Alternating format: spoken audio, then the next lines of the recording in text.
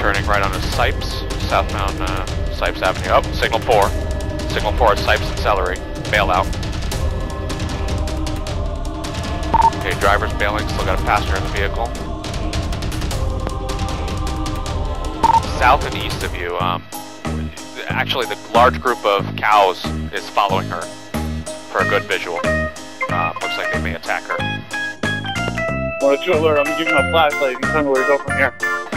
Keep going southeast. Uh, she's uh, pretty far into the field now. Um, if you see the large group of cows, they're they're literally following her and uh, chasing her.